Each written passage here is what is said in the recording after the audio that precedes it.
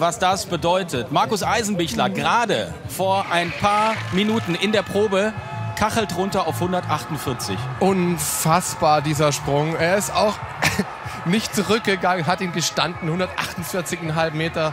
Der alte Schanzenrekord liegt bei 143 Meter, also 5,5 Meter pulverisiert. Das geht halt nur bei dem Aufwind.